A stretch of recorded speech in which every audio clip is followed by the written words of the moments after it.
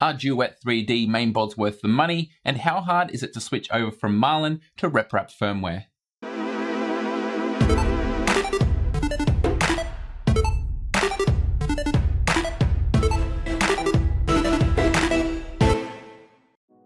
Marlin by far is the most popular firmware for consumer 3D printers. I've made so many videos on my channel with modifications, the configuration of which was made possible by the flexibility of the Marlin firmware.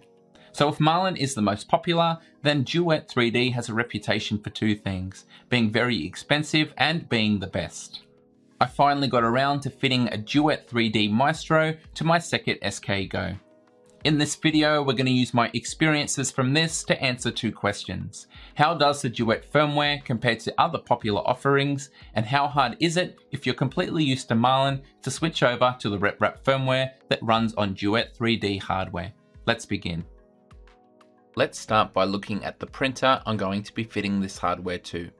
I built the Seckit SK Go as a kit and it's a large format Core XY FDM 3D printer with the philosophy of being over engineered and tinkering friendly.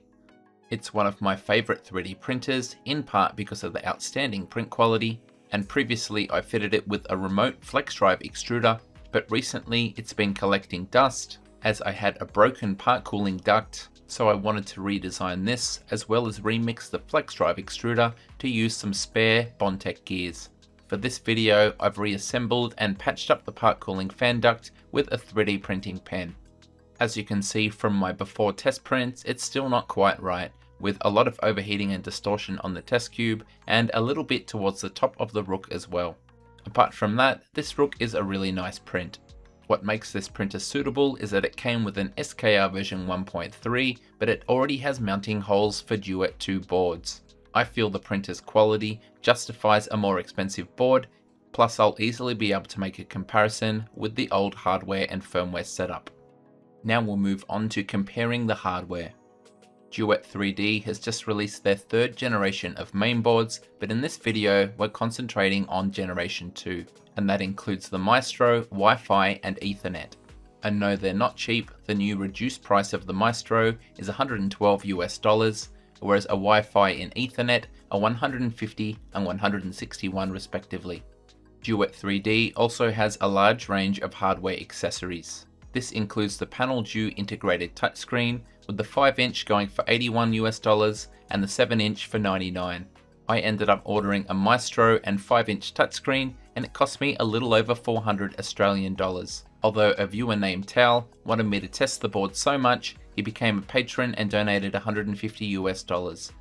I'll link this comparison page in the description as it's the best way to compare the various models of Duet 2 hardware. It should be noted that some unique things about the Duet is they support plug-in modules and that means you can use thermocouples as well as thermistors for higher temperature printing. I've made this comparison table that compares the Duet hardware to other popular 3D printing mainboards. As a basis we have our lowly Creality Melzi board, it's 8-bit, the slowest by far, and with limited program space and that's why we always have to disable features to get Marlin firmware to fit on the microcontroller. As you can see the SKR Mini is a good step up, being 32-bit, a lot faster, a lot more program space and memory. The TH3D EZBoard Lite is actually spec'd quite high, its processor is the same as an SKR version 1.4 Turbo, and with that comes better speed, program space, and memory. Perhaps the best SKR board is the SKR Pro, and it really appears to be good bang for your buck. All of the specs are great, and this F stands for floating point, which is going to give it extra grunt for complex calculations. The second generation Duet mainboards compare favourably to everything here, apart from perhaps the SKR Pro. The more expensive Wi-Fi and Ethernet boards also have a floating point processor to distinguish them from the cheaper Maestro. Just for fun, I've included the new Duet 3 mainboard. As you can see, the specs are insane. It's got a strong processor that's fast, has a lot of space, and a lot of memory. Another thing worth comparing are the stepper motor drivers on each board. The Maestro comes with TMC 2224s, and here I'm comparing it to the popular TMC 2209s. In this case, it's hard to argue against the 2209s as they have better cooling, they have StallGuard 4, and that allows sensorless homing, and they can also handle more current to the stepper motors which means they'll run cooler with everything else being equal. The more expensive Duet 2s come with TMC 2660s, and they compare more favourably to the 2209s. They use SPI instead of UART, which is much of a muchness. They have stall guard for sensorless homing, and they can handle a lot more phase current, which means they can run bigger stepper motors or small ones with less heat buildup. The only thing they seem to be missing is Stealth Chop, but they're still advertised as quiet. Perhaps someone with one of these boards can let me know just how quiet they are. The biggest part of this conversion is the hardware installation. The main board is nicely packaged and besides the board, you also get all of the connectors and pins, and unless your printer was already using Molex connectors, you're going to have to rewire all of the plugs. Here's a size comparison with an SKR version 1.3. As you can see, the Duet is a little bit bigger, and the SKR 1.3 lets you plug in whatever stepper drivers you want, whereas they're integrated on the Duet board. The screw terminals are also beefier, they're probably closer to what you find on the SKR Pro, which is much closer in size to the Duet Maestro. The PanelDue is again nicely packaged, and besides the actual touchscreen, it comes with two connectors, which we'll explain soon. I did need a housing for the touchscreen.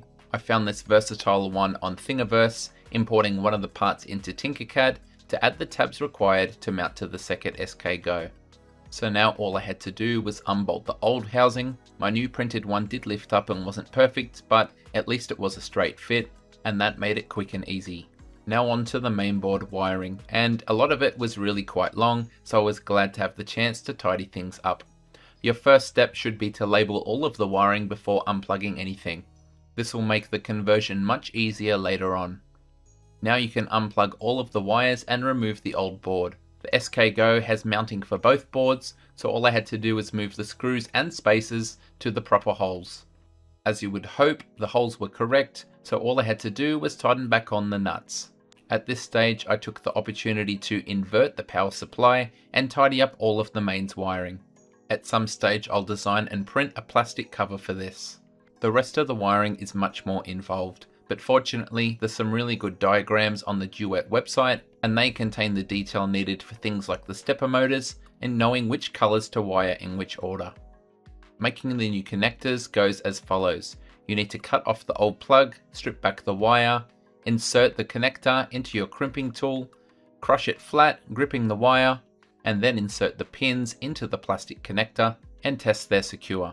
Now you can reference the diagram and plug them into the main board. It took me most of a day to get the majority of my wiring done. I got more efficient as I went, but overall it was still a slow process. Complicating things further was the fact that the Copperhead hot end I'd backed on Kickstarter had arrived, so I wired up the heater and thermistor to avoid having to undo all of my cable wraps and do it all again later. Another complication I had is that I was running sensorless homing with my old setup. The Maestro stepper drivers don't support that, so I had to design these simple end stop brackets. They accept simple micro switches, and the whole system, although not as neat as sensorless homing, seems to work quite well.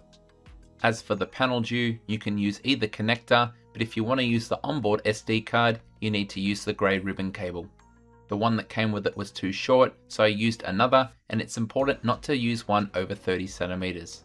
I was pleased that after finishing my wiring, there were plenty of connectors and pins left over should I have to redo anything or upgrade in the future. Now we can turn our attention to configuring the firmware. The first thing you need to know is that Duet hardware requires RepRap firmware, and there's quite a lot of guides on the wiki on how to set up various aspects. There's also a reference page outlining the differences from Marlin and Repetier. Here's a summary of the important differences. Marlin firmware is designed to support a very wide range of hardware, and as we saw in the earlier table, the available space for the program can vary quite a bit. Therefore, because of some smaller boards, we only compile the firmware features that we want for that particular printer. Once the firmware is on the printer, we can do additional tuning of parameters like E-steps by using G-code, and we can save those changes to the EEPROM, but if we have any major changes, we need to recompile the firmware. RepRap firmware is designed to support Duet hardware, therefore we have a known program flash size. Because of that, the firmware source is pre-compiled, which means we don't need to do it ourselves and all features are included. All of the parameters for the printer, every single thing, is listed as G-code and is loaded into the printer on boot. We can still make some changes and these are saved to an override file. And no matter how major the changes are, we can make them instantly just by sending lines of G-code. When I first powered up the printer, it was running firmware version 2.02, but version 3 was now available.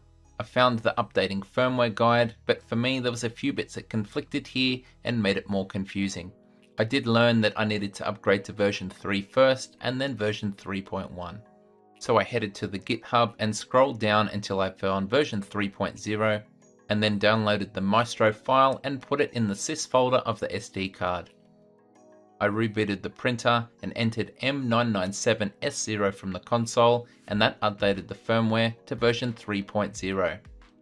I put the binary for version 3.1 on the SD card, but repeating this process gave me an error.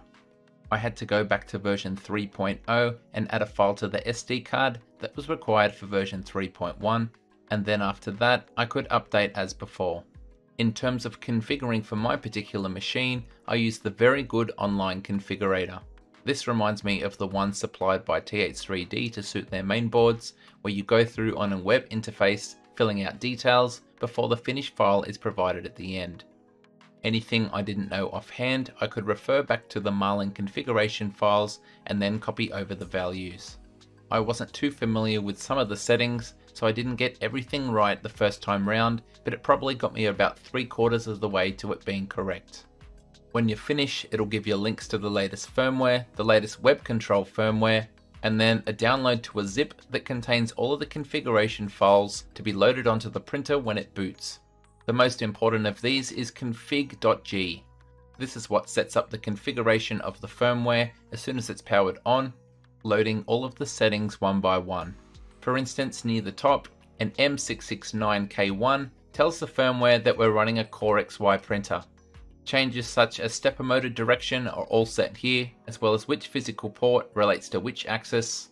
Things that you would need to recompile for in Marlin can be edited in this config.g file, restart the printer and everything will be up to date.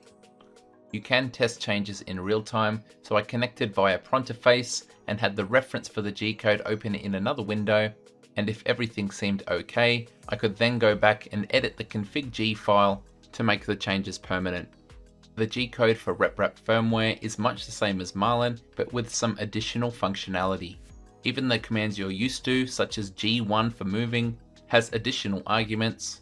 For instance, if you add a H1, that axis will move, but only until it reaches an end stop.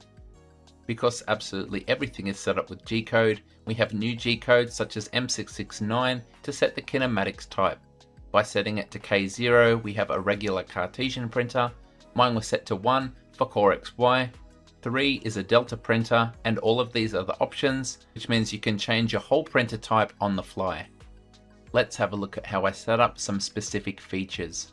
First up, tuning the bed and hot end with PID tuning. The process takes a little longer, but the G-code is very similar to Marlin, and at the end, you simply enter M500 to save it permanently. Next up is pressure advance, which is known as linear advance in Marlin. Like Marlin, we set this with G-code, but instead of a K factor, we enter a time value. As you can see, direct drive is going to be something like 0.025 seconds, up to a very long Bowden tube having 0.7 seconds. There's not a really easy to use process for determining the right value, but there are three workarounds provided. I chose to follow the guide on the middle link, where you use the Marlin pattern generator and then find and replace all to update the G code to suit RepRap. This will then generate a familiar pattern and you can set up a line in your config.g file with your correct value. RepRap firmware supports BL Touch and other ABL systems, but on my printer I was using manual mesh bed leveling. Despite not having a probe, there's still lines of configuration in config G. You can see here the top one disables the probe, but it still defines an area for a grid, in my case 20mm in from the edge, with points spaced out 65mm apart. G29 is used like in Marlin. If you have a BL Touch or other probe, it will use that.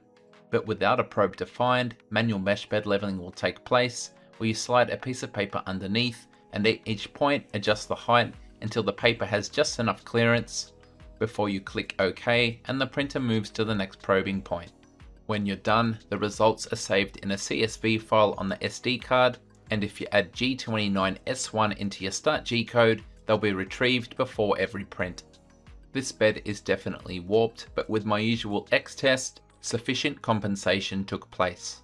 With my end stop design, I needed X to home before Y to avoid any collisions. Also in the sys folder on the SD card are a range of other configuration files. The one I needed was home all, and here I edited the code to home X first and then Y to avoid any troubles. This worked perfectly and I was really glad to have that much control over the process. One other thing worth mentioning are macros. We have a folder on the SD card and in it we can create any files with G-code we want to run. For instance, this one will preheat PLA and it's just got both the commands to set the bed and then hot end. The macros will now appear on the PanelDue touchscreen and with a single press you can run multiple lines of G-code. They'll also show up in the web interface which we're going to talk about now. The web interface is like an inbuilt version of Octoprint, except you don't need to buy a Raspberry Pi. Funnily enough, the Wi-Fi board is the only one that comes with inbuilt Wi-Fi, so I had to wait till everything was set up to move the printer into a separate room with an ethernet cable and to try this out. Just like Octoprint, once you're connected to the network, in your browser you load up the IP address and then you have a really slick interface. We have a range of manual printer controls. There's also a console for directly communicating with the printer. There's a button to visually inspect the height map from probing. You can upload to the SD card and access all of the print jobs. With a single click, you can run any of your macros. And if you right click, you can edit them right inside the browser. And the same goes for any of your configuration files that are inside the sys file of the SD card. You can make changes here, save them in the browser, and reboot the printer for them to take effect. You can also update the base firmware from this screen. One thing I wasn't able to try was adding a Wi-Fi webcam, so I'm not sure how that will show up in this interface. Overall this is very slick and as far as I can tell is quite customizable. I've ordered this Wi-Fi dongle add-on in an attempt to give it Wi-Fi permanently. Let's finish by looking at my print results after this modification. In redoing the wiring, the part cooling fan seemed to fix itself, and these cubes look pretty good, but the pressure advance didn't really work as I expected, so I'll have to revisit it. The after rook also looks good, it definitely benefits from the part cooling fan being fixed, but I'm not sure if it's just me, but there might be slightly less surface artifacts compared to the old setup with the 2130s. So I'm still pretty new to this and I'm probably just scratching the surface, but I feel I know enough now to get my head around the tremendous potential of this hardware as well as the RepRap firmware. While the hardware is undoubtedly expensive compared to other budget offerings, it does seem to be top quality and the whole ecosystem makes a lot of sense but hopefully I've shown you enough in this video for you to make an informed decision. As for the RepRap firmware, from my early exposure, I'm also a fan. Once I negotiated those initial hurdles of it being so unfamiliar, I could really start to see how feature packed it was and how easy it is to set up. It has one main advantage over Marlin, and that's that Marlin tries to cater for so many different hardware combinations, whereas RepRap firmware is catered for this specific hardware, and that simplifies a lot of things. I'll continue to tweak and learn from this, but I am interested to see if this video has influenced your opinion and whether you're willing to upgrade to Duet 3D hardware and RepRap firmware in the future. Thank you so much for watching, and until next time, happy 3D printing. G'day, it's Michael again. If you like the video, then please click like. If you want to see more content like this in future, click subscribe and make sure you click on the bell to receive every notification. If you really want to support the channel and see exclusive content, become a patron. Visit my Patreon page. See you next time.